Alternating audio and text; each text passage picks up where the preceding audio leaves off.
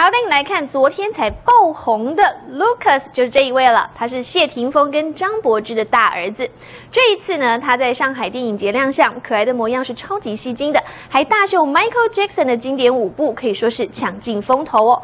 不过呢，他的爸爸谢霆锋也说了，Lucas 的密集曝光呢，已经带给他不小的压力了。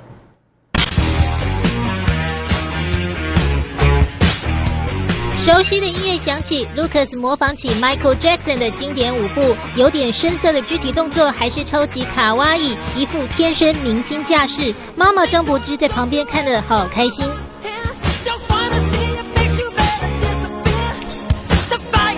Lucas 这回跟着爸妈一起亮相上海电影节，马上成为媒体焦点。不过演出电影《新少林寺》的老爸谢霆锋倒是放话，如果小 Lucas 不听话，就要把他送到少林寺去修行。玩笑归玩笑，Lucas 近来密集曝光，似乎已经给爸妈带来不小的压力。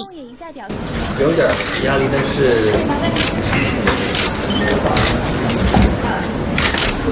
可能这个就是一个。出生在演艺家庭必须经过的一些一些一些磨练。十四号晚上，张柏芝从上海飞回香港，虽然没看到 Lucas 的身影，不过在机场守候的媒体还是蜂拥而上，提出的问题问来问去都是 Lucas。